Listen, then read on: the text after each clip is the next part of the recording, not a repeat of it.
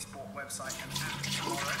Football's National League season will start as planned tomorrow following confirmation of significant financial support from the government. The state grant will be worth £10 million over three months.